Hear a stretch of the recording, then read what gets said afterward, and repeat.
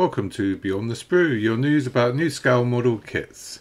Today we have a major new kit from Border Models, so stay tuned for that and some kits from ICM, Amusing Hobbies and Magic Factory.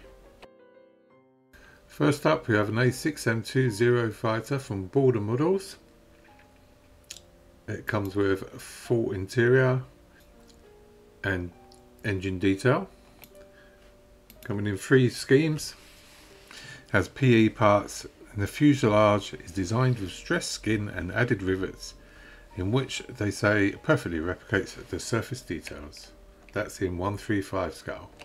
They have also produced some figures of the imperial Japanese Navy crew, pilots and officers, also in 135 scale, putting them all together onto the Akagi Bridge.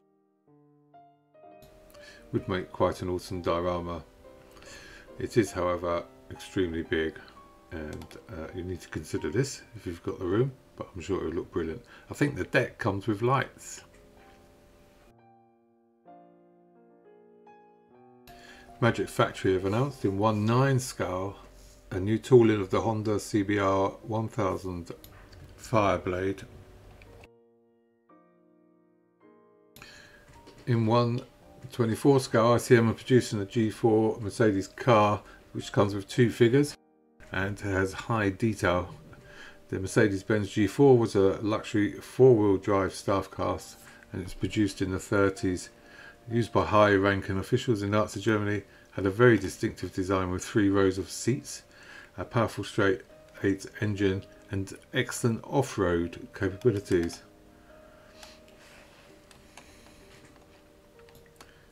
ICM have also produced in 135 scale a set of four female servicemen of the armed forces of Ukraine, depicted in various poses. Amusing Hobby have produced a German super heavy tank, the E100, and also a Leopard 2A8 tank, and these are both in 135 scale. Back to border models, they have announced a fantastic Israeli Merkava Mk.2D tank, which comes with full interior. Uh, coming in four schemes, has movable tracks and suspension, all the hatches open as some of the stowage, and it includes storage equipment, and the armoured surface on the tank features anti-slip texture.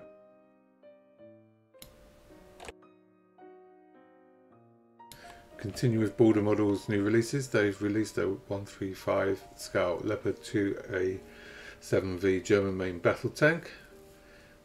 Uh, we only have screenshots and we can see that it's got photo etch, but although a little more than that, apart from the fact it obviously has a metal barrel. But it does look quite good.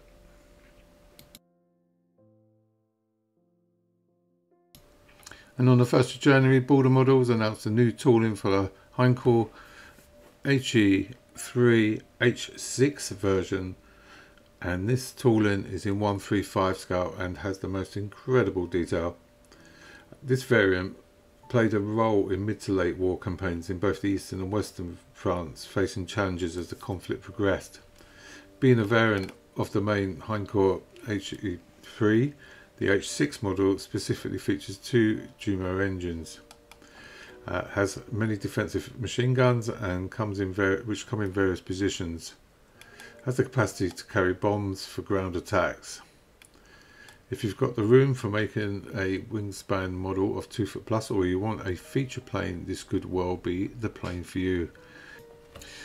Can I just ask you if you liked the video to uh, show your appreciation and drop me a like and uh, subscribe if you want to see more of these news updates and um, a young lady's giving me the nudge because she wants to get on the screen.